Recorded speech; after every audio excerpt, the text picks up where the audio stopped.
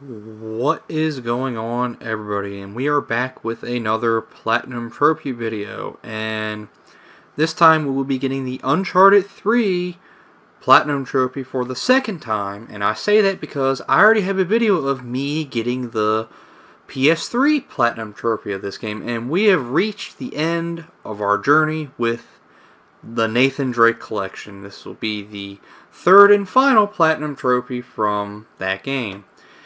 And it was a lot of fun going back through all the Uncharted games and revisiting them, getting ready for Uncharted 4. I can't wait for Uncharted 4. And this really got me more excited for Uncharted 4. And for this final trophy here, I figured we would do a fun trophy to end it all. And for this trophy, all you have to do is just play Marco Polo in this pool. I'm not even joking. This is what we are going to do.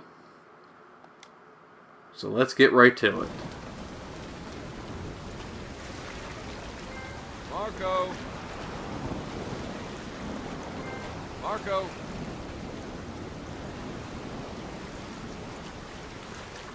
Oh, what a shame. Nathan has no one to play Marco Polo with him, but there it is. There's the Platinum Trophy.